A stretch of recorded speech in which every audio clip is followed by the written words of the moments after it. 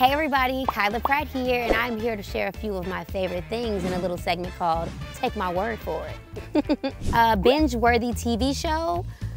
Right now, uh, no, just forever, Friends. Like, if it's on, I have to watch it. I know everything about it, and yeah, don't test me, because I know. Favorite beauty product?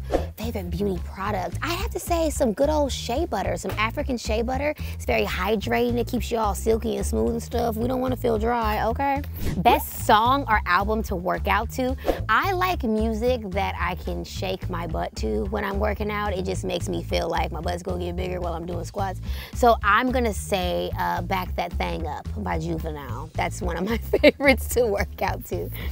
Favorite LA restaurant? I don't know if I wanna say because all y'all gonna start going and it's gonna be hard to get my food. A mood booster, I'm gonna say working out. A lot of people don't understand that working out and getting like the, the adrenaline going can completely boost your mood. If I'm ever down, I'm like, all right, it's time to go run. Take my word for it. A life hack that I would say, forget everybody. I usually say a more um, vulgar version of that, but I mean that by focus on the things that you need to take care of don't think about what everybody else has, what everybody thinks about you. Comparison is a thief of joy. Forget everybody and focus on what your goals are and what you want to do and the life that you want to live. A book that I can't put down. Well, right now I'm reading a book called Attached, which talks about um, uh, our attachment that we have as adults and why we attach to other adults in our relationships the way that we do. So I'm reading that right now. You know, self-help. a great podcast.